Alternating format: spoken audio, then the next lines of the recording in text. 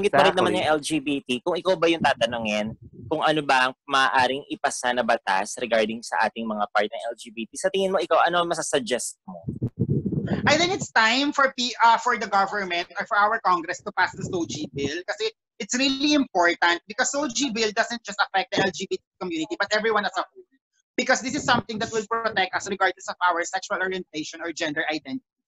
And it's really the, uh, it's, it's really alarming na ayaw nila itong ipasa because sobrang laki ng community natin and against all the people Correct. who have chosen their uh, identities na nababastos, hindi na mapapasok sa mga CR, na discriminate, hindi na hindi nakakakuha ng mga trabaho because of their sexual preferences, hindi nire-respeto, hindi pinapapasok sa certain clubs, hindi nakakakuha ng mga magandang trabaho, you know, they're being robbed of opportunities just because of being themselves. So we need uh, we need a law to protect that. So, Absolutely. speaking of law, ano bang masasabi mo ngayon na meron do uh, terror ano? Terror uh, ano 'yan? Terror bill ba 'yon? Yeah, I'm against anti-terrorist bill because anti-terrorist bill strips out our uh, freedom of speech and our right to democracy.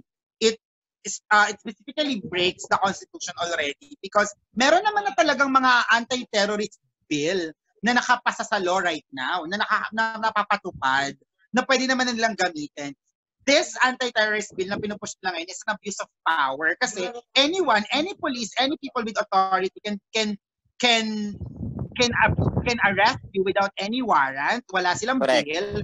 Hindi ka ma-detain ng sobrang tagal with their own intent. So based on their perception. So ibig ikaw kahit hindi mo naman talaga mean na hindi ka naman talaga terrorist kasi di ba ta- activism is not terrorism. So pag inisip nila na nag-post ka or let's say sabihin natin estudyante ka tapos galit ka sa president ng school nyo, and sabihin mo napakawalang kwenta ng sistema dito. And then that's that statement alone i-trigger ng na, mapatrigger uh, yung ah. police, even pinaparinggan ng gobyerno. You can be arrested without any warrant or without any due process. And that is dangerous because any one of us can be a target. So I'm really against it because it's not needed, especially right now within this pandemic. I think ang bill na dapat na sinusulong is something that would benefit yung buong Pilipino kasi right now, ang dami naghihirap with the lockdown, di ba? Ang dami lang tao na you know, they don't want to get off of their high horses na because of their privileges. That they think it's okay because it doesn't affect them. But, you know, this could happen to anyone one mistake and you can get mm-hmm. jailed without any due process and without even verifying the fact. Pwede ka nalang huliin without warrant of arrest. Nakakatakot.